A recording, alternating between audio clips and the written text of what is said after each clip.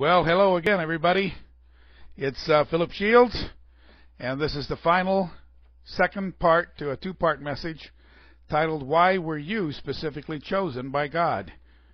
Why were you specifically chosen? You specifically. It started out as a question that several had asked, and frankly, I'd even ask myself that often. And most of my sermons, in fact, start as a frustration I'm feeling, a question I have, a thorn I'm struggling with, and you get the point. I'm very human, struggling with lots of issues we all face, and I'm trying to find peace and answers in my great God and in, in His Word, and just basically share that with a lot of people. Several of you sent in your ideas, and I'll read a couple of them and use a sentence here and there from several of you. You know, using one person's idea is called plagiarism. Using a lot of people's ideas, though, like I've done, is called research. so some of you sent in some thoughts on this, and thank you.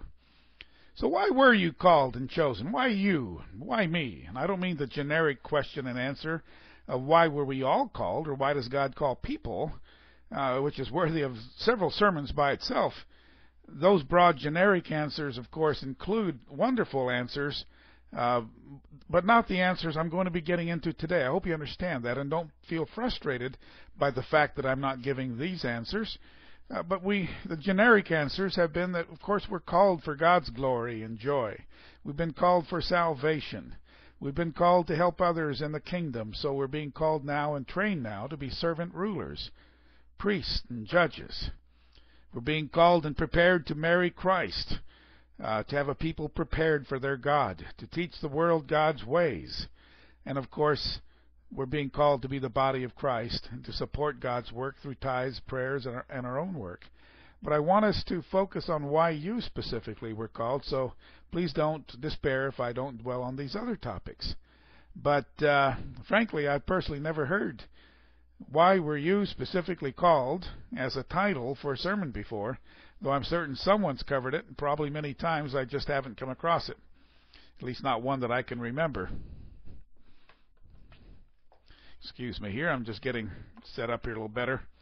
I certainly hope that you children, teens, young people, unbaptized brethren are listening carefully too because you're part of this family and calling. You kids are called holy and sanctified because of your parents and eventually because of your own decisions, your own decisions for or against God's way. Peter told the crowd on the day of Pentecost in Acts 2 verse 39 that his message was for them and their children. He actually says in Acts 2:39, "For the promise is to you and to your children, and to all who are afar off, as many as the Lord our God will call." Now that seems to imply to me at least that at least some, maybe most of our children and teens in the church are being called or at least have an open door into God's presence.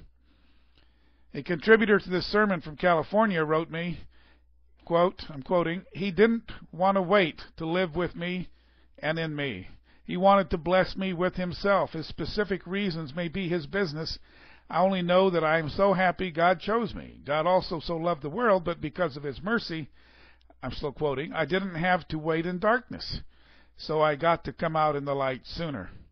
So this person, end quote, this person really appreciates being called now, and I wish we all appreciated it more. Then she adds this specifically why you or I were chosen won't fully be known until God tells us personally. And of course, until we, end of quote, until we see the completed project of God's spiritual temple. True, but we can get some ideas that can inspire us and get us thinking on the possibilities and help us to value and appreciate the high calling that we have more. People always perform better whenever we understand why we're doing a particular thing or why we've been asked to do something. I felt the church, and I feel the church is languishing right now. Frankly, there's a sense that we've lost our way, we've lost our sense of direction, our purpose, and our zeal. I see it. I'm hoping this two part sermon helps us regain some of the zeal we may have once had, the first love, if you want to call it that. If this message helps you, then please let others know about the website and the message. I can send them even the tapes if they wish. One person in the Midwest wrote me this way. She says, I don't think anyone can even imagine what God has in store for each of us. It's going to be far greater than any of us would know here. So she says, uh, we're part of what God's Word calls the high calling, to be part of the better resurrection. So it's well worth thinking about. At another time, I'll give a sermon on why the first resurrection is called the better resurrection, but that again is not the, the focus of this sermon. You've heard the analogy before. I think it's a good one. We're all like individual knots in a tapestry someone is working on, the someone being God. We see it now from the back end, and the picture is not at all clear to us. And we're just a knot in this tapestry. Only when the other knots are put in and the tapestry is turned over and we step back a ways, then we see what the artist had in mind.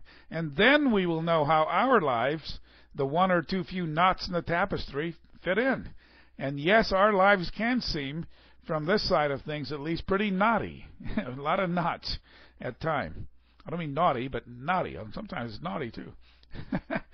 I'm going to go over some of the points from last time to partly review, but also to add some more things I didn't get to say last time or have thought of since. Last time we discussed that you were picked according to 1 Corinthians 1, 26 to 29 because of the very fact that you and I have so little to offer. And God did that, called you specifically because you and I have so little to offer. Not because we have talents, not because we have things He liked in us. God called us to confound the wise the mighty and the noble, to show what his power can do. Don't forget the scriptures where he says to Israel, Don't think that I called you because you were so mighty and great. He says, You were not. I called you because you were not the great. You were slaves in Egypt, he says. So, and now remember, we're spiritual Israel. We're the Israel of God today. So that's point one, why you were chosen according to Scripture. God's power, God's glory is magnified. He gets the glory when He shows what He's able to do with such weak, untalented, untrained people like most of us are. God is going to shock the world when He reveals His sons and daughters. But when He does reveal us to the world, we're going to be all polished up and perfected in Christ and ready to rule the world. Look what Jesus did with the Galilean untrained fishermen and despised tax collectors. God rocked the world with their message and their work. He isn't done rocking the world with the people He's calling. You are being called to bring God glory, to accomplish a purpose. I want to say more about this for a few minutes because some of you feel and have said that there is no way God could ever use you significantly. You feel there is no way, you say, that you could ever begin to be on the same page as the great men and women of the Bible. So let's look for a few minutes at those God has chosen in the past, people we normally think of as incredible spiritual giants. I will review these not to grave dig in their past, but to remind you and inspire you that God uses whomever He chooses, and God usually has called people with handicaps. God usually has called people with baggage. God changes people and then uses them, and He can do the same for you. Yes, you and me. God called various ones, even you, to do a task for specific reasons, and He called you for a specific reason as well. You have not been called simply for your salvation. Simply put, it's not in it just for you. Not at all. I hope this list will inspire you that it's not over till it's over. If you look at your baggage in your life and the problems you have, God works with all types. And don't limit him by doubting what God has in store for you and in mind for you, or could be doing with you even now, if we would simply turn our lives over to him. Be sure to print off a transcript if you want the scripture references, because there's gobs of them in the transcript that I just won't have time to refer to them all uh, on the audio. Uh, it'll just take too too much time and gets uh, ponderous and laborious doing it that way. Many many of these I'll turn to. Some of them I many of them I won't. But print off a transcript if you want to do a study with all the scriptures in them. I'm going to go through a list of people, people we consider great people, and what they really were like when God called them. And I think you're going to be surprised. How about Abraham or Abraham, who had to be called twice to get out of Ur and go all the way to Canaan? That's news to a lot of people. If you compare Acts 7, verses 1 to 4, compare Acts 7, 1 to 4, with Genesis 11, verses 31 to 32, and then keep reading into Genesis 12, verses 1 and 2. There were no chapter breaks in the past, remember. He was already an old man, and God had to call him twice, tell him twice to get going, to get moving. Don't think you're too old. Plus, this great father of the faithful was in, with incredible faith and being willing to sacrifice his only son of his old age, had lapses of faith. He lied twice about Sarah being his sister to avoid having to admit she was his wife. He was afraid of her beauty. He let Sarah talk him into having sex with Hagar as their human solution to God's promise of a son. That was a lack of faith, if you think about it, and so on. But guess what? God's glory was declared in Abraham's weakness, and he became the father of the faithful. He wasn't always some pillar of faith. He just wasn't.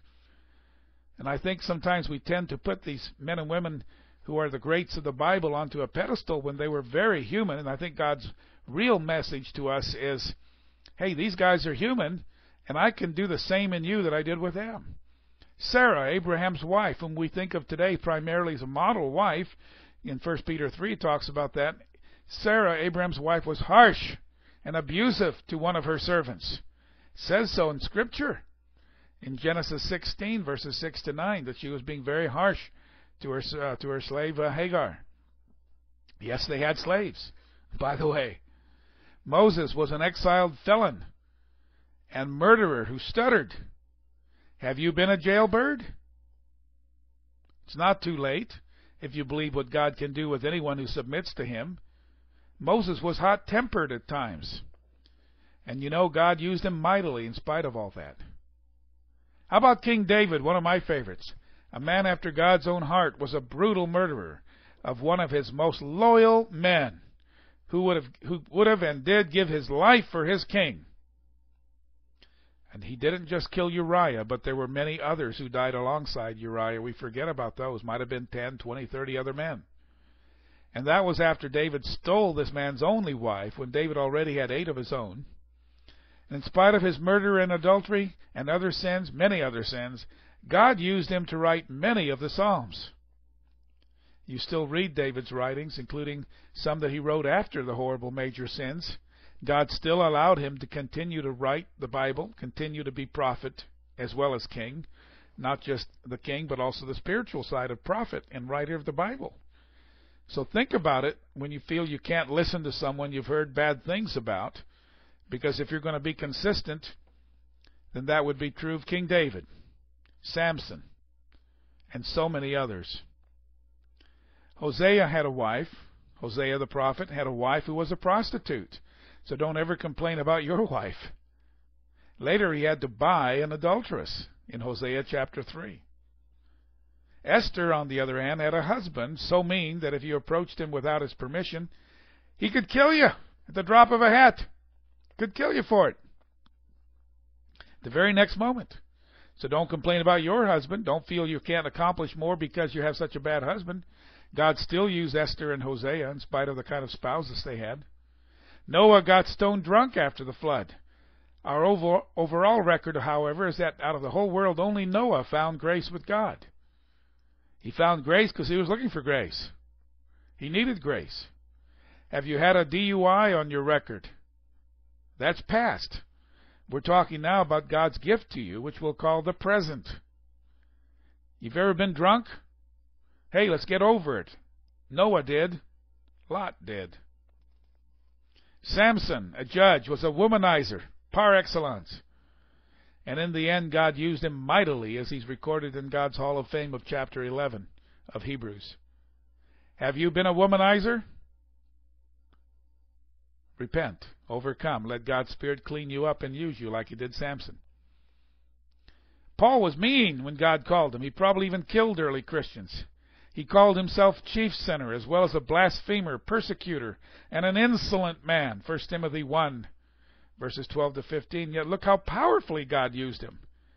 Are you far from being the nicest person around? Trust God, He can still use you. Are you just a widow? Just a widow? God also called many widows, ordinary widows, like Naomi and Ruth, the widow of Zarephath, the widow who gave the widow's mite, Tamar, and so many others. Don't think you're limited because you're, quote, just a poor old widow. Have you lost faith? We think of Elijah as being one of the greatest men of faith because he had this great demonstration of faith. If God be God, serve him. If Baal be God, then serve him. But quit halting between two opinions.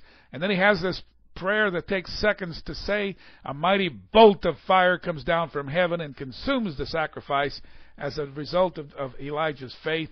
And then he kills the priests of Baal, and then he prays. He had to pray seven times, but he prays, and then the, the drought ends, and then he, in faith, runs ahead of Elijah. I mean, of uh, King Ahab. I mean, I mean, a powerful, powerful display of faith that day. That's all in 1 Kings 18. The very next day, he's a whimpering, burned out worrywart when a woman named Jezebel threatened to kill him. I take great comfort in that, for at times I can have great faith, and so can you, and at times my faith really wavers. So does yours. Thank you, Elijah, that you've shown us that even someone like you, the Elijah, the original Elijah, can also doubt and fear. Are you getting the picture? Why am I going over all these? So you realize you're in good company, even among the biblical greats. Yeah, we're not so great. We're not the mighty. But God is using you and will continue to use you if you submit and stop limiting what God may want to do in and through you. Here a few more. Rahab, the innkeeper, and most agree was also a prostitute, a harlot, when God chose her to be in Jesus' own family tree. Have you? Oh, many of us had. Have you ever had an immoral sexual past? Let's get over it. God can use us even if people want to reject us. And yes, Hebrews 11 says Rahab the porne, Rahab the harlot, where we get the word porn or harlot from.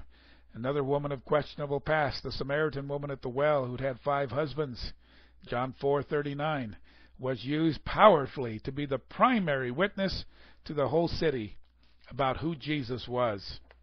And she probably set the stage, in fact, for the great chapter of Acts 8 about how many in Samaria, Samaria were converted after the day of Pentecost. Are you too short? Or worse, someone despised by many? Someone who's committed what some other self righteously will call, oh, he's committed major sin. Well, talk to Zac- Zacchaeus or Zacchaeus. Jesus called him too. He had dinner with him. Remember the story? Look, look at it. Luke nine, Luke nine. I mean nineteen. Luke nineteen, verses one to eight. There's a big crowd, you know, coming following Jesus, and he stops, look up, looks up at Zacchaeus in the sycamore tree, and he says, Zacchaeus, come down from the tree. I've got to have dinner with you. And for doing that, even Jesus received a lot of persecution and criticism, a lot of trouble because he wanted to specifically call someone like Zacchaeus someone who had a horrible reputation.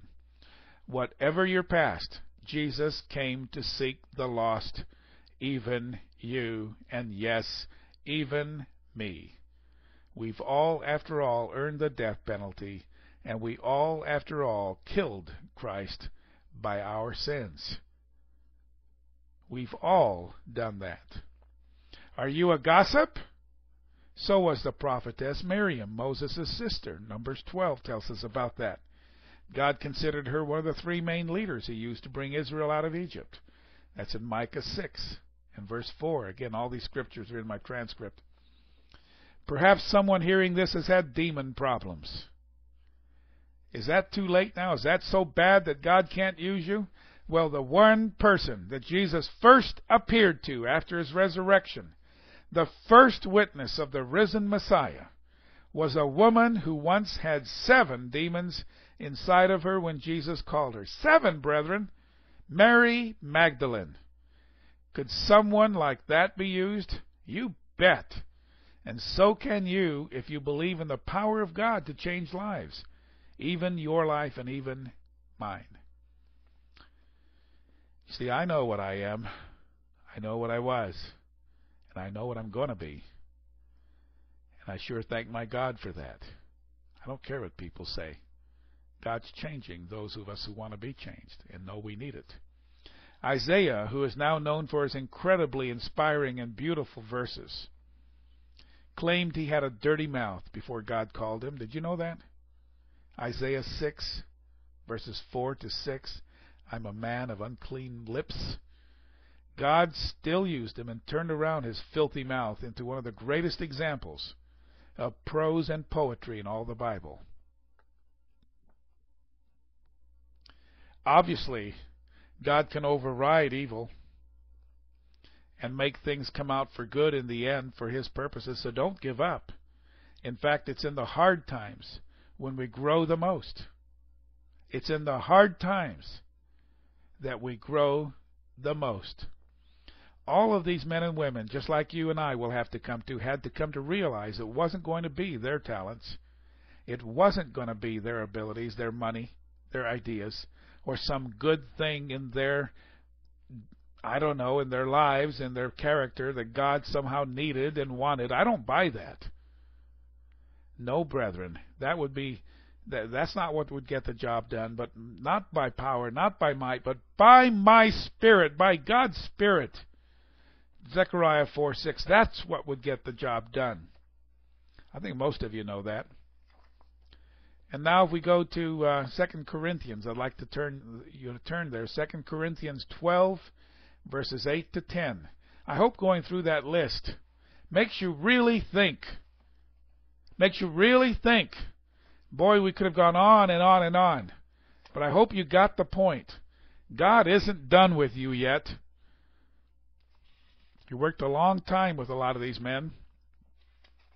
2 Corinthians 12, verses 8 to 10. Concerning this thing, I pleaded with the Lord three times.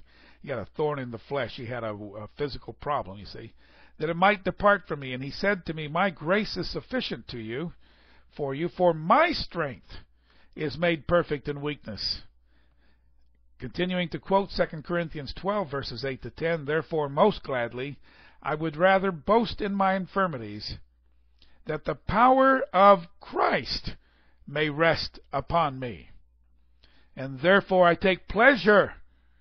Boy, I'm not there yet, folks, but that's our goal. See, look at this. Uh, I take pleasure, he says, in infirmities and reproaches, in needs, in persecutions I pray that God doesn't allow persecution, but you know, look at Paul. He says, I take pleasure in these things, in distresses for Christ's sake. For when I am weak, then I'm strong. He's strong in the power of Christ, he said earlier at the end of verse 9. So our husband, Jesus Christ, is telling us we don't have to have a bunch of talent. In fact, we just don't have it. We don't have to have a lot of strength, energy, abilities, or come from royalty. He says your weakness, in fact, accentuates my power. So accept your weaknesses because when you're weak, God's strength is highlighted. What God does with me and with you it has to be seen as God doing it, or we'll get a big head and fall flat on our face. That's why I've come to believe over time that Samson probably did not look like Schwarzenegger, probably did not look like that, but appeared as any ordinary man. His strength was not in his muscles, but his strength was when the Spirit of the Lord came upon him. In the transcript, I give lots of uh, uh, uh, verses in Judges that say, Then the Spirit of the Lord came upon him, and then he got real strong, and he did this, and he did that. You can read it for yourself in Judges 14, 15, and 16. Um, the lesson is there for all of us. Now, if, if this ordinary looking guy suddenly is just a, a titan of a power, we uh, you, you would know that it was something un, unusual. If he if he looked like Schwarzenegger, you'd say it was his because of his big muscles, his big muscles. Now we need to know and trust it and be in such close contact with God every day that we can receive God's power just like Samson did, and God's blessings, God's open doors, God's working in our lives. Okay, we also covered last time how it was how God the Father himself personally planned you and chose you, how God the Father was very involved in your life, didn't relegate it to anyone else, not even Jesus.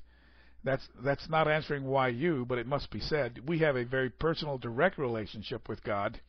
And you know, folks, I've got to say, the fact that anyone important would ever even know I exist, let alone take note of me and say he wants me, tells me he wants to spend the rest of eternity with me, and then invites me to marry his son, who will be the King of Kings and then offers you and me everything he has, bestows on you and me his love and joy and peace and meekness and all the all the wonderful gifts of the Spirit, fruit of the Spirit. And he personally hand-picked me and you for all of this. That boggles my mind. I sometimes don't even want or like myself. So I ask, how can such a holy, perfect, blameless God and Father choose someone like me? Do you ever wonder that?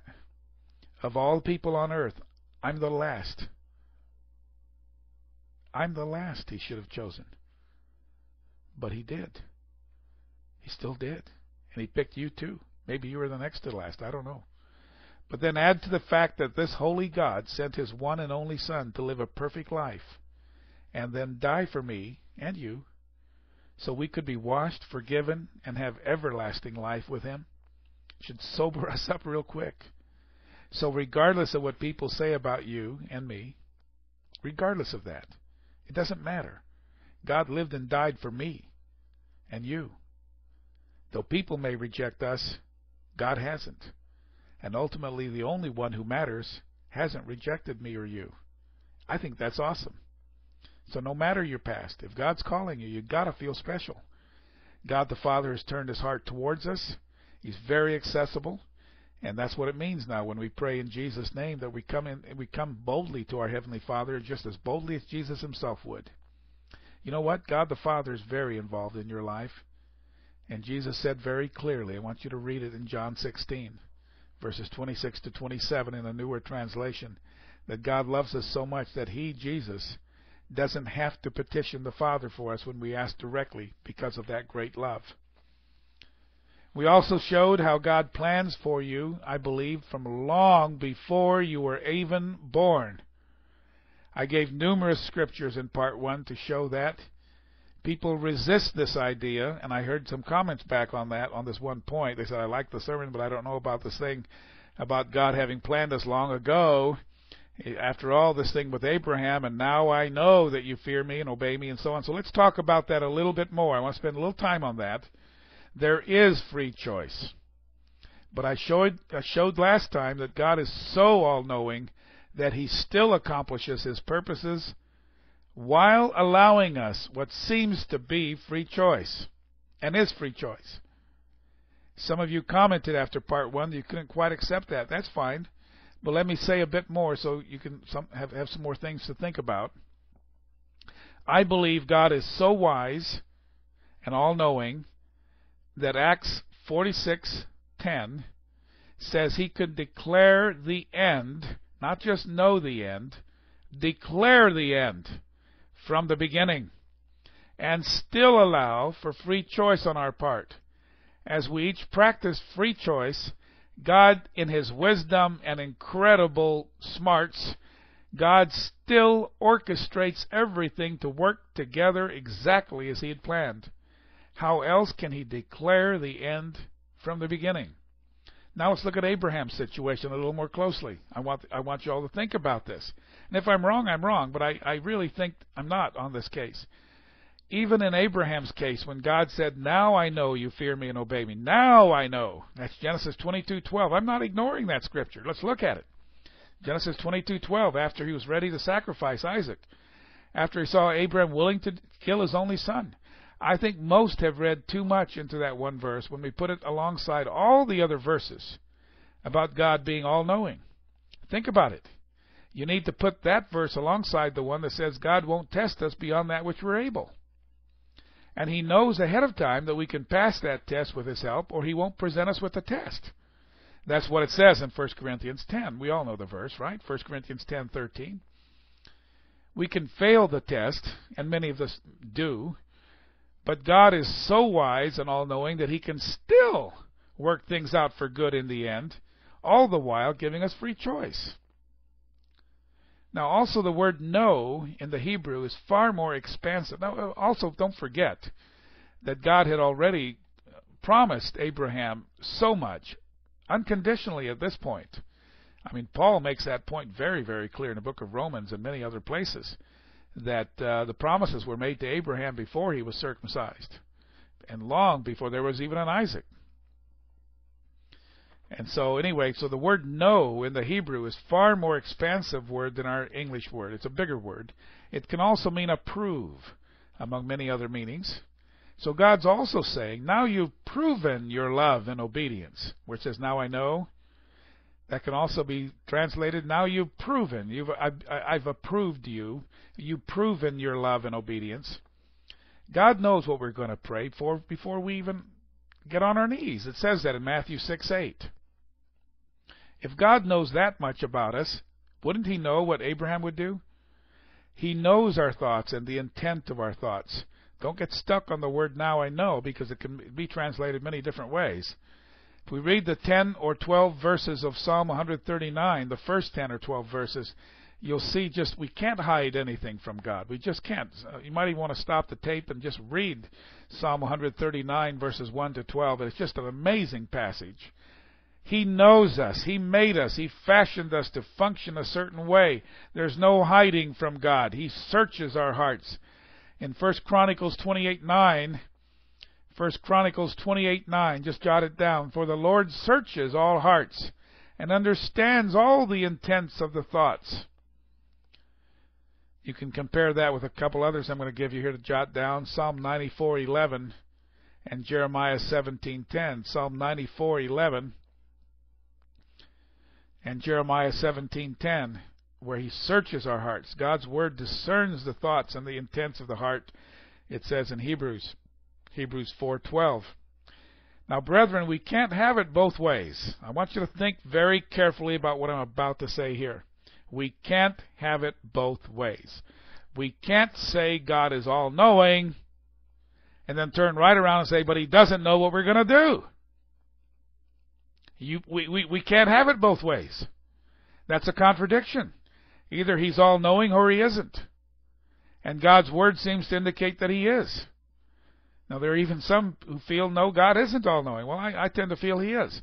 So we have to take Genesis 22:12 and understand that God is saying there to Abraham, "Now you've proven you fear and will obey me." Is God caught by surprise ever? Or caught off guard? Did God really have no idea what Abraham was likely to do or was going to do? Don't we, even mere mortals that we are, know at least 95% of the time what our own children would do in a given circumstance? I've rarely, rarely been wrong when I've had a hunch about what Rachel or Heather or Jonathan's going to do in a given circumstance, if I knew the circumstance they were in. God, who knows our thoughts, our hearts, and our minds, and our loves, our hurts, surely knows us very, very intimately. And I, I, I don't know the heart of my children. I know to some extent, but I can't read their mind. I can't read their thoughts. But He can. He even knows our needs before we do. And He knows what we're going to ask before we ask. Matthew 6 8. But somehow, so many conclude that He didn't somehow know that Abraham would obey this matter of offering Isaac. To me, that just doesn't square with the rest of the Bible about God being an omniscient, all knowing God. God even says that He knows and understands our frustrations that we can't even put into words. You know the passage in Romans 8. I don't have to turn there. Romans 8:26 to 27 about the uh, the the feelings, the words that we can't even utter. That the, the Spirit translates this for for us for, to God. And then uh, we come to Psalm 139. David could say, "All the days of my life, all the days allotted to me, were written in your book before I was born." But somehow God had no clue what Abraham would do. That just doesn't make sense. Let's turn to that uh, passage in Psalm 139, in fact, and let's read it. Psalm 139. Psalm 139, verses 15 and 16. Why don't you turn there real quick? To me, that just wouldn't make sense.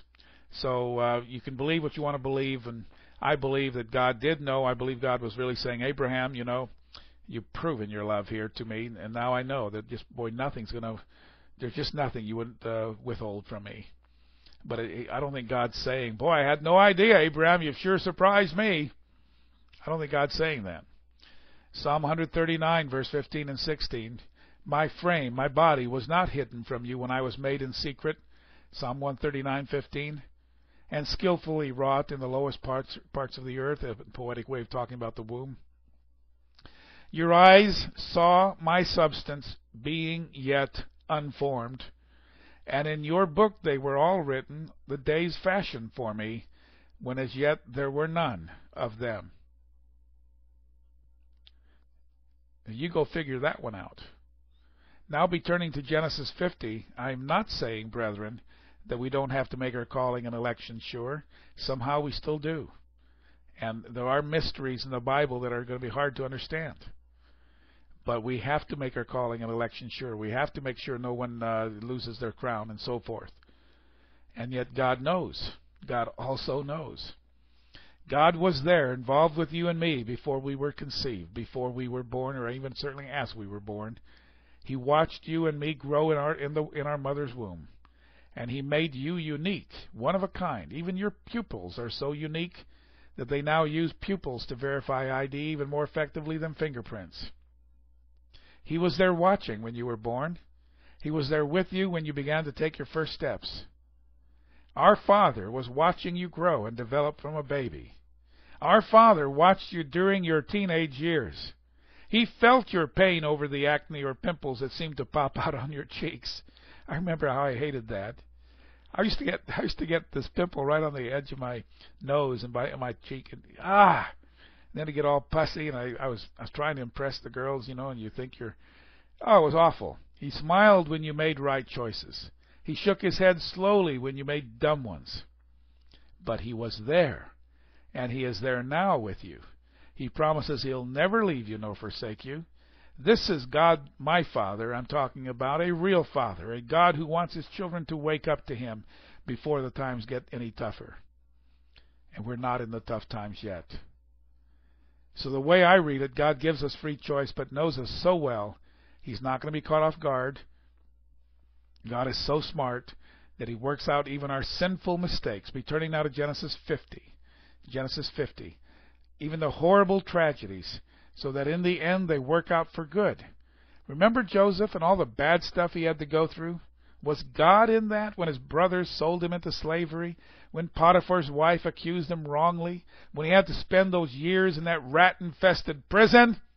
For his obedience to God? Where was God in all of that? I'll tell you where God was. Like I said earlier, in our tough times is when we grow the most. Joseph had a lot of growing and toughening up to go through. And God used it all for good. We don't like the tough times. We don't like the chisel on the stone that's going to be in the spiritual temple. We're in the quarry now. It's kind of rough. And that's what Genesis 50 kind of says here when Joseph says this to his brothers who are afraid now that Jacob's dead that, that Joseph's going to really get them. Notice what Joseph says here in Genesis 50, verses 19 to 21. Do not be afraid, for I, am I in the place of God? But as for me, you meant evil for me, but God meant it for good. Let that sink in, brethren. You brothers of mine meant evil. Yeah, you intended to hurt me. And you did, guys. But you know what? God meant it for good in order to bring it about as it is this day. I hope you're reading it with your own eyes. To save many people alive.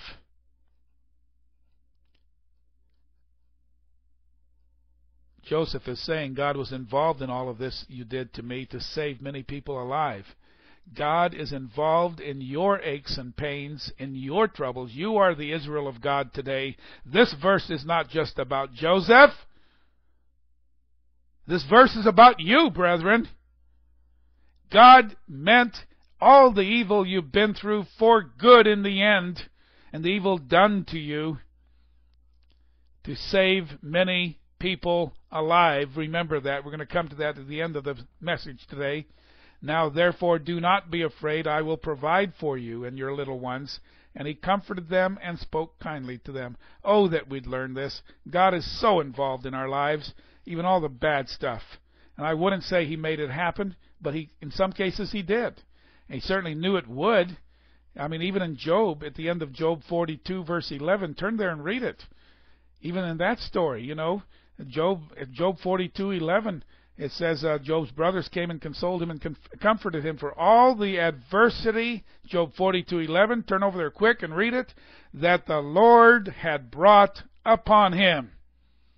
The adversity. Who? I thought Satan brought all that on Job. that the Lord had brought upon him. Isn't that phenomenal? I want you to think about that. God was involved in my life and my wife's life when He let our son die. Even in the evil things that happen to His people, God has a, an awful way, wonderful way of turning that junk that surrounds our life into good somehow. Romans 8:28, you know that. So God is more involved in every aspect of our lives than we might realize. Yes, we still have to work hard to obey. We still have to strive to make our calling and election sure, as Peter says in 2 Peter 1:10. But somehow God still declares the end from the beginning, and Paul admits at the end of Romans 9 that this brings up a lot of questions. I covered this last time, but basically says we can't question the potter when he makes some vessels for honor and some others for dishonor. Remember I talked about that last time. Now, you don't need to agree with me on that last point, but I wanted to spend some time on that so point number one is that God calls the weak of the world to confound the wise and to bring Himself some glory. And of course, within that point, he, he, God the Father Himself selects us, and He and He worked with us, and, and probably planned us from way, way, way, way, way past longer than we think. Probably from the, I think, from the beginning of creation. Uh, certainly from the certainly from the time you were born. Um, I think from way before then. Now, point number two from last time is you were created for a specific mission, a specific role, an exact spot in the temple of God's uh, spiritual temple coming. And we're living stones in that ongoing project. And right now we are in the quarry, a dirty, noisy, painful place called the world. And we're being shaped and chiseled to become the finished product. Right now, no one would guess how perfect that finished product will be when they take a look at us now certainly when they look at me now.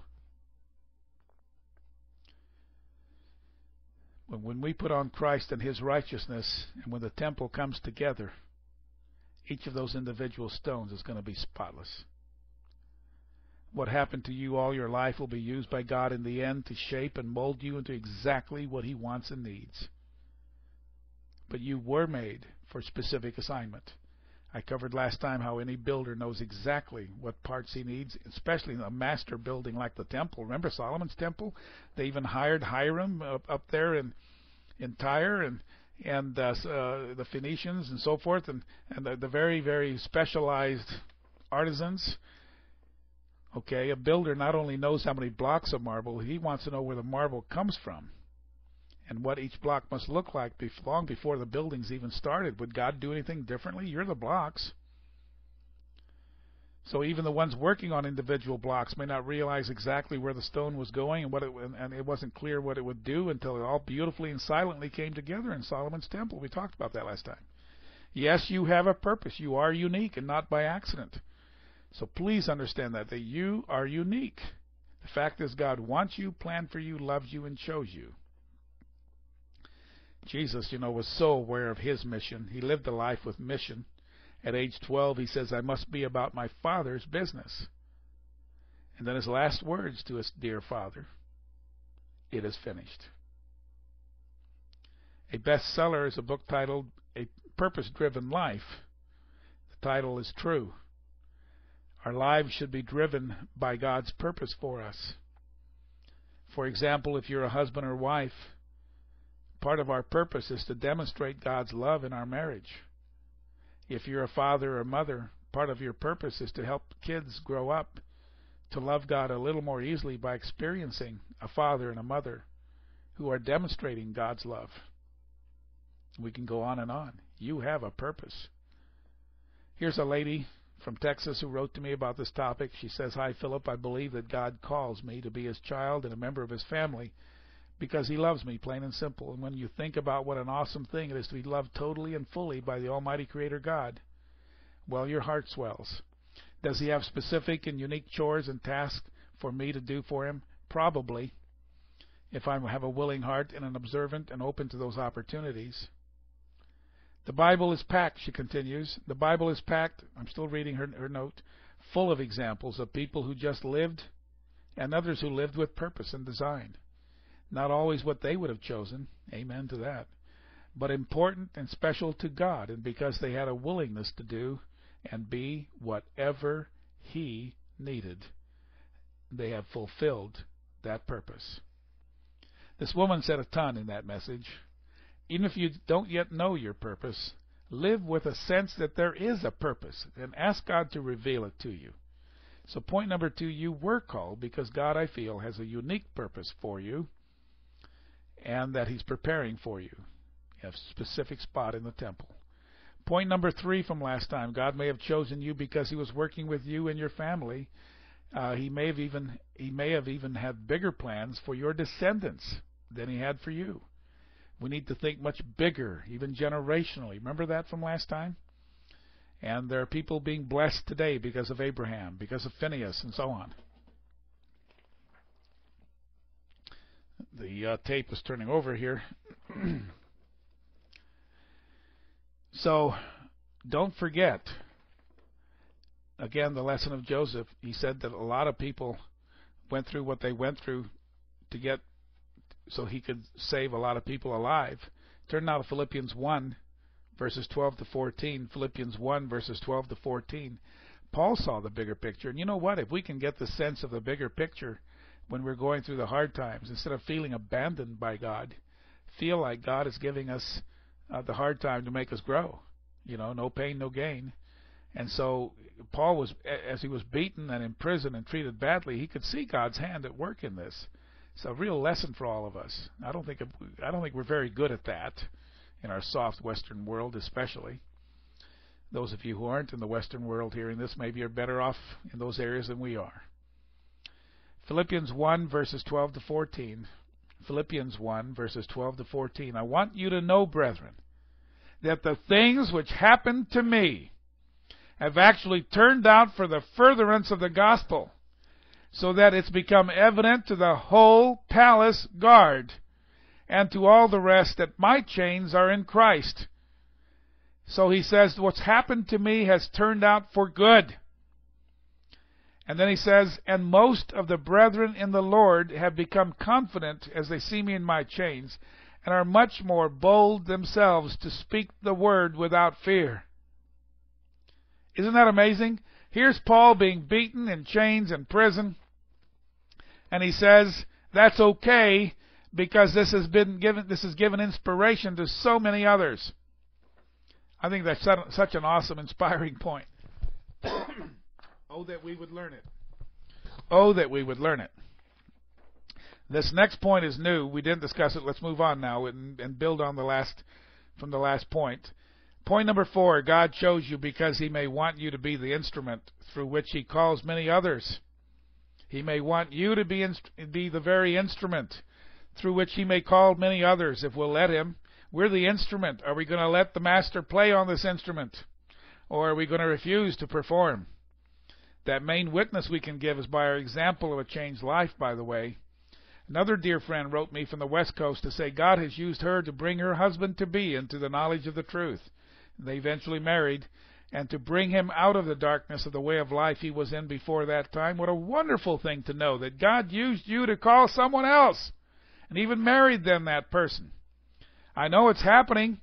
Several of you listening to this right now know that you are a member of God's church. And, or maybe even listening to this because someone else, a spouse, a friend, a neighbor, a work associate, spoke up and said something and came out of the Christian closet openly declaring their belief and faith in God and Jesus Christ and the doctrines that they represent, and now you're here. Praise God for people willing to get out of the Christian closet. How many more could be hearing about God and His way if we'd all come out of the closets, figuratively speaking? We sometimes, some of us have been so indoctrinated not to cram religion down someone's throat that we've gone to the other ditch. Turn to me uh, to with me to 1 Peter 2 verse 9. 1 Peter 2 verse 9.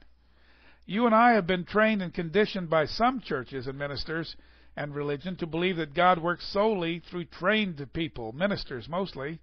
Ministers, brethren, do a ton of wonderful things, and there are wonderful, faithful ministers out there, and God bless them.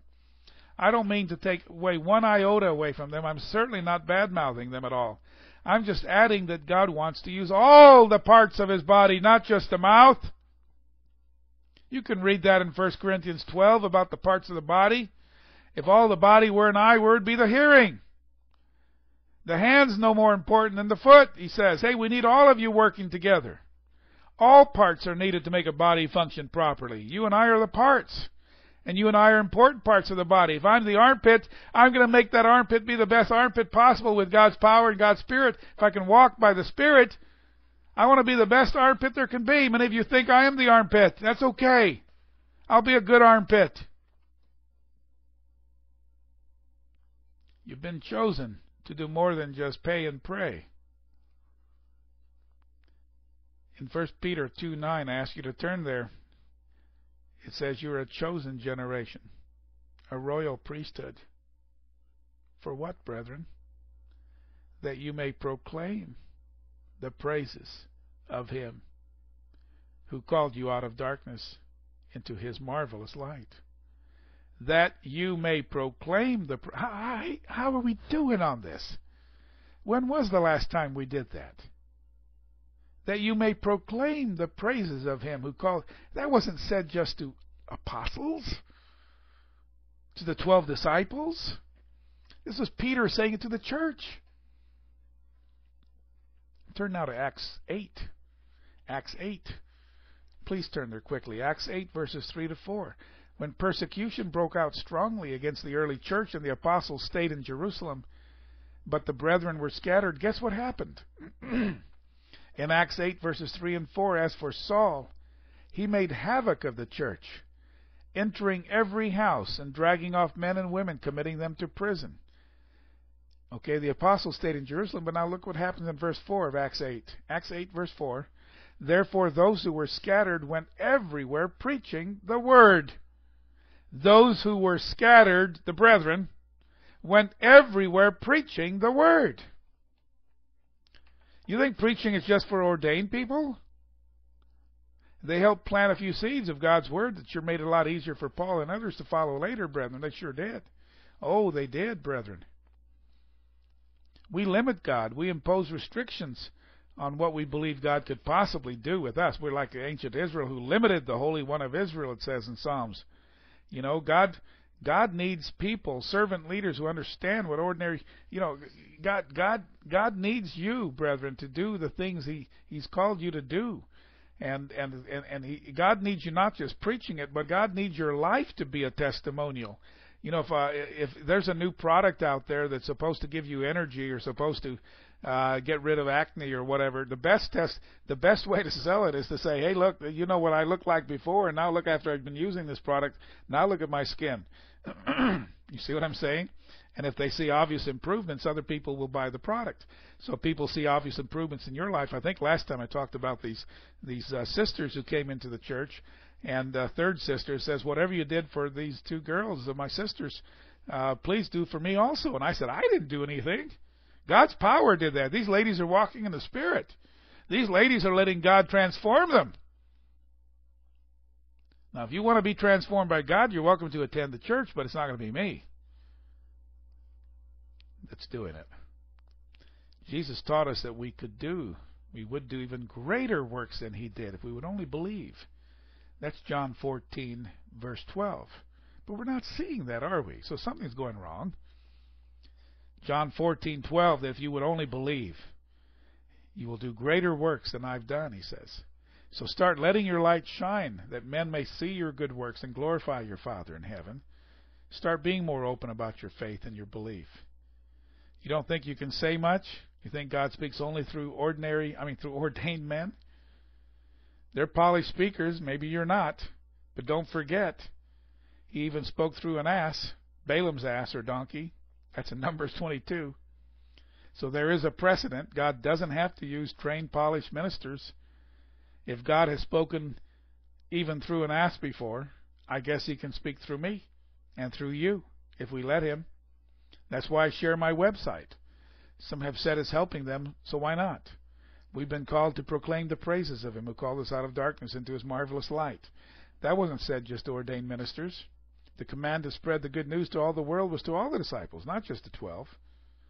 The greatest sermon you and I can preach then is a sermon of a changed life. And that sermon of a changed life, a life powered by God's Spirit, a life so different that in the book of Titus, Paul talks about it adorning the way of God. Again, all the scriptures are in the transcript. Adorning the way of God. You can make God's way attractive. Titus 2, verses 9 and 10. Titus 2, verses 9 and 10. I'm not turning there. Though they may think you have strange beliefs, they can't say anything bad about you and me, and I've come a long way on that. But with God's help and grace in the end, I'll be there. And you will too, if we do it by God's Spirit. You may live in Sin City. Uh, there are many sin cities. I got a, a, a note from somebody else who said she's in a sin city of homosexuality. Still, let your light so shine that people may see your good works and, uh, you know, and glorify God, not in your self righteousness, but in your own powerful, uh, effective life that you can have. I want to ask you a question. If it were a sin, I'm sorry, a crime, if it were a serious crime to be zealous and loving, to be a godly Christian, if it were a crime to be one of God's people, would there be enough evidence to have you arrested and convicted? If it were a crime to be one of God's people, would there be enough evidence to have you arrested and convicted? In the days of Paul and Peter, many were arrested and killed because they were known as Christians. Are you known by your neighbors as a Christian, the good kind? If it were like in the days of Peter and Paul, would you and I get arrested? Because everybody everywhere would know that we are God's people? Turn now to Romans 1. I want you to think about that. I want you to think about that. Romans 1, verse 8 Let our faith become well known. Let people everywhere start to speak of our example. This is a noble goal. And if you're like me, we've some repenting to do for our lack of zeal, but we can start now if we failed in preaching this kind of sermon. Look what it says in Romans 1 8, the sermon of our lives, I'm saying. First, I thank my God, Romans 1 8. I want you to read it. First, I thank my God through Jesus Christ for all of you, that your faith is spoken throughout the whole world. your faith is spoken about everywhere I go, Paul says. And he says something similar to the Thessalonians, I think even to the Colossians. But in 1 Thessalonians 1, verses 6 to 8, he says something similar. 1 Thessalonians 1, verses 6 to 8. Here's some homework for you. How are you limiting God? How are you keeping God from using you the way He could and would if you and I would only believe? What miracles are not happening because of our unbelief or because of our sins? What wonderful marriages could we all be enjoying now if we just let ourselves get out of the way and let Christ live in us and start doing what Christ says a wife should do and start doing what a man should do? What powerful witnesses of what the Spirit can do in us mere mortals would be happening if we'd let the light of God shine in our lives as a light for our neighbors? Not a spotlight, but a light in the darkness. Brethren, God can change us. I know He's changing me. I know He's changing my wife. Long way to go. But I started from way back. I shouldn't be married now, brethren. I've been a horrible husband much of my life. But this week coming up, my wife and I are celebrating. We have great plans for a 30th anniversary. God gets all the glory. I sure don't. I'll let my wife have a lot of that glory too. A lot of the credit. But we have to let God work in us. So point number four. Point number four is that God may be may have called you to call other people into his truth and by our light and by our examples and by coming out of the Christian closet, we can do that. Point number five God called you and allowed you to be through, uh, what, allowed what you've been through so that you can relate to people with similar experiences and problems and share the encouragement you've received from God while in your troubles.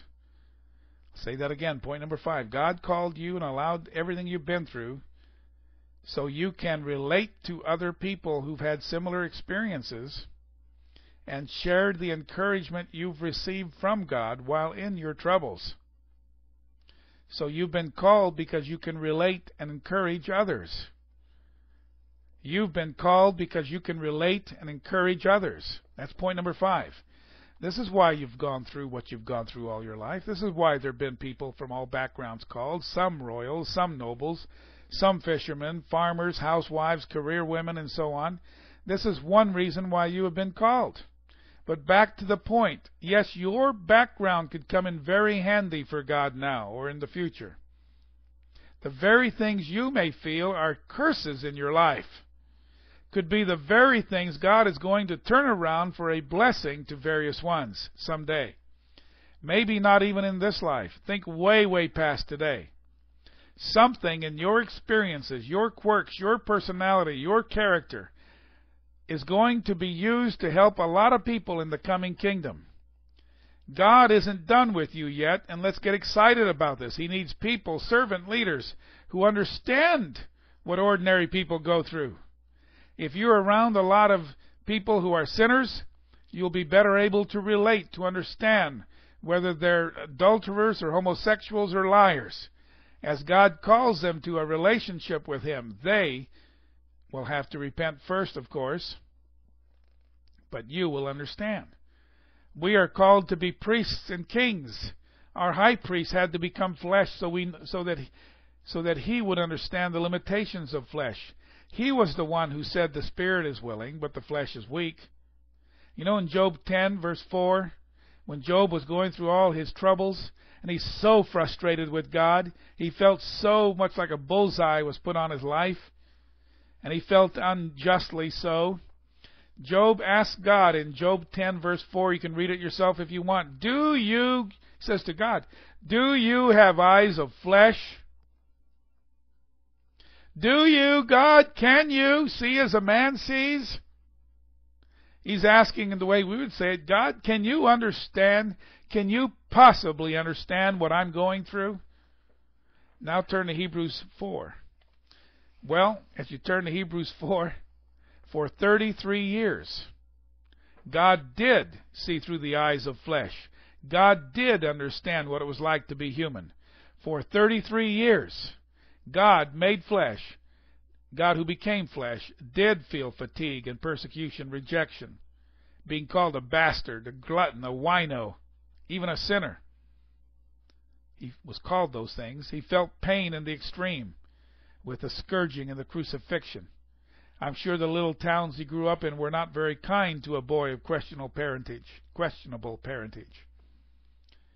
And yes, for 33 years, God in the flesh knew what it was like to be human, for he was human. And now we can read Hebrews 4 because the principle we're about to read applies to all of us as future priests under our great high priest. Hebrews 4 verses 14 to 16 Seeing then that we have a great high priest who has passed through the heavens, Jesus, the Son of God, let us hold fast our confession. For we do not have a high priest who cannot sympathize with our weaknesses, but was in all points tempted or tested as we are, and yet without sin. Therefore, let's come boldly to the throne of grace. He's saying, look, we can come boldly because he understands. He can sympathize with our weaknesses. He was tempted and tested in all areas as we are. He understands that so well.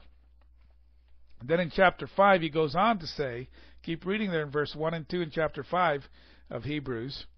Every high priest taken from among men is appointed for men in things pertaining to God, uh, that he may offer gifts and sacrifices. Verse 2, here it is Hebrews 5 2. He can have compassion on those who are ignorant and going astray, since he himself is also subject to weakness. we know what it's like to have no money. We know what it feels like to have lost a child. I know what it's like to have been fired from a job, be without work. I know what it's like to feel rejected by so many, to come from divorced parents I know what it feels like to feel abandoned by your own father. I've come to understand that better lately, though. And I could go on and on, and so can you, about your life story. And I know what it's like to have committed what some call major sin. And so do some of you. Turn now to 1 Corinthians 6, verses 9 to 11. 1 Corinthians 6, verses 9 to 11. We're in good company, brethren. Don't ever suppose that there aren't all kinds of horrible people, horrible past people, who people have who have horrible past is what I'm trying to say. Praise be to God that He can take such misfits and turn them into a holy spiritual temple. Your your sinful past will be used to be one who understands and can help encourage others who once were like you. Once were. Who people who are like what you once were. 1 Corinthians 6 verses 9 to 11 Do you not know that the unrighteous will not inherit the kingdom of God? Don't be deceived, he says. 1 Corinthians 6 9 to 11. Now he lists what some would call major sins. Neither fornicators. Hey, we all have done major sins. I certainly have done a bunch of these here. Neither fornicators, nor idolaters, nor adulterers, nor homosexuals, nor sodomites, nor thieves, nor covetous, nor drunkards, nor revilers, nor extortioners will inherit the kingdom of God. And such were some of you. God be praised. He goes on to say, But you were washed, you were sanctified, you were justified in the name of the Lord Jesus by the Spirit of our God. Remember Jesus said in Mark 2:17, I haven't come to call the righteous, but sinners to repentance. He says those who are well have no need of a physician, but those who are sick. Sick people need a doctor, he says in Mark 2:17. I didn't come to call the righteous, he continues. I didn't come to call the righteous, but sinners to repentance. Paul, you don't get the idea that Paul thought of himself as being a better sinner somehow. 1 Timothy 1:15 Paul says, Christ came into the world to save sinners of whom I'm chief. Chief sinner. the church should be a place where spiritually sick should feel welcomed and can get well. And you've been called to be saved and to encourage others from that same standpoint.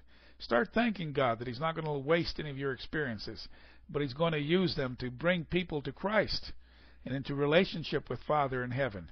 You can tell people even now that in spite of your sins, many as they are, and horrible as they are, Jesus died for you and saved you and now uses you. And is going to have you be one of the parts of His temple. Show how Jesus does not hold your sins against you, nor theirs against them if they repent.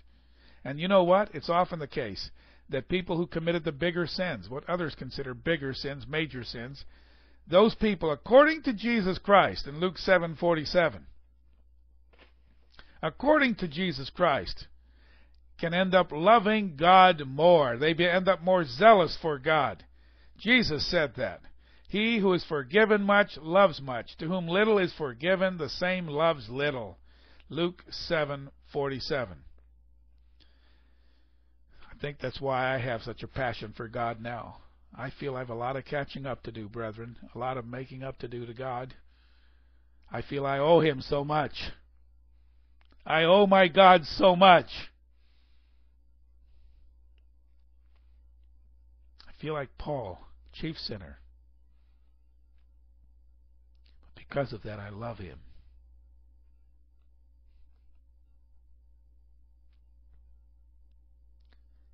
I said at the beginning of this point 7, I mean this point, not point 7.5, that you are not called just to relate with others, but also to share encouragement. Go now to 2 Corinthians 1. 2 Corinthians 1, verses 3 and 4. 2 Corinthians 1, verses 3 and 4. Please read this with me. Blessed be the God and Father of our Lord Jesus Christ, the Father of mercies, the God of all comfort, who comforts us in all our tribulation, that we may be able to comfort those who are in any trouble with the comfort with which we ourselves are comforted by God. That we're able to comfort others with the comfort that we receive from God. When our son David died, I couldn't believe how dark a time that was, and yet my wife and I felt incredible peace. And we felt God's help and presence as thousands around the world were praying for us. The gravedigger said the same thing. And if any of you hearing this were there praying for us in 1982, thank you from the bottom of our hearts. We felt it. And who's going to help someone who's had a horribly failed marriage, a failed family life, unless you've been through it yourself? Who's going to help someone racked with guilt and feeling suicidal unless you've been there? Those are the kinds of people I and you can help. This is a huge reason why we go through the hellish things we go through from time to time. This is why your son died, why your house burned, why you were burned badly. This is why you lost your job. This is why you suffer racial prejudice. This is why you've lost your family due to your beliefs. This is why you have cancer, arthritis, aches and pains, and setbacks and problems. So you can relate and encourage people with the encouragement you've received. Maybe you weren't called to be a preacher. Maybe you're called in, that you can be a listener and a shoulder to cry on and bring comfort to people. Maybe you really, really have goofed up in your life, and I mean you have really goofed up. And God is still stuck by you. He's got your back.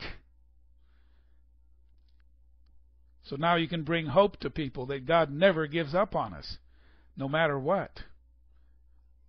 Because and they can see that through people like you and me. Point number six you've been called to be part of a team, a family, a group. You've been called to be part of the kingdom of God. Point number six, simply, brethren, is we are not called to be loner Christians. We have to mingle with people in the world and in the church. I won't take this point very deeply right now because of time. But I want you to think about it. Two are better than one. A threefold cord is not easily broken. A group of dedicated people working together will get a whole lot more done than one. We cannot be loner Christian. Christianity is not meant to be practiced in a vacuum. We've got to work with people. So get out, mingle, attend church, cross the family lines. One problem is too many denominations incorporated by man are claiming to be the one true church and are not showing any love to those who are not part of their system. So people get turned off and they just end up not going anywhere. Brethren, it's not right to be a loner Christian. Make sure you're involved in a group, in a group, helping, praying, encouraging, physically helping, and so on. Be in touch with people and use and serve other people. God called you to be part of a team. He's putting together a team. We got to practice being a team right now. That's something I'm trying to work a little better on as well. Point number seven, the last point. One final reason you may be, you may have been chosen to be part of the elect because God called and chose you to be among the elect. There will be a remnant of humanity saved alive. Remember what Joseph said? So point number 7, the last point is you were called to help save humanity alive. Joseph said, and we are the Israel of God today, that God meant it for good to save many people alive. The end of Malachi 4 says that if we don't obey God and turn our hearts to the children and the, and the fathers to the children, if we don't do that, God will strike the earth with a curse. Utter extinction, utter extinction is one meaning of that word curse. We all know the end of the story. And, and Mark 13 says, Mark 13, verse 20, unless the Lord had shortened those days, no flesh would be saved alive. But for the elect's sake, whom he chose, he shortened the days. The NIV says nobody would survive. The New Living Translation says the entire human race would be destroyed unless there were an elect. But for the elect's sake, whom he chose, God shortens the days. Brethren, apparently there'll be enough worthy elect for God to save some of humanity alive. Your calling, especially your election of being chosen, is of utmost importance. You were called to help save alive your neighbors, your family, even total strangers on the other side of the planet. Don't fail them. Make your calling and election sure. We have a high calling. We've been called for specific reasons. These are just the beginning. You, you can think of many more, no doubt, now that I've, I hope, uh, primed the pump. So we've been called to confound the wise and noble, point one. Number two, you were chosen for a unique purpose that God knows, to fill a, spe- uh, a specific spot, a specific mission in the temple. Number three, you were chosen because God may have even bigger plans for some of your offspring even than you. Perhaps there's a bigger reason, like in Joseph's case, that we won't see till later. We've got to think bigger, much bigger, generationally. Point number four, you were chosen because God may want to use you to call others to Himself. You were chosen, number five, because God wants you to witness for Him through your changed life. the best sermon anyone can ever preach. That's all part of point number four, I mean. Then point number five, you were chosen because you can relate to people from what you've been through. And you're going through what you're going through, so you can relate, so you can share the encouragement you've received. And you were chosen to be part of a team of people he's working with, and you were chosen to help save humanity alive. For the elect's sake, the days are cut short. Brethren, share the word, spread the word. You have a mission and a purpose. Commit your life to God, and He will reveal it. This is Philip Shields saying, till next time, God be with you, my dear friends and family. God love you, and He does. And share the word, spread the word. You have a purpose. God bless you all.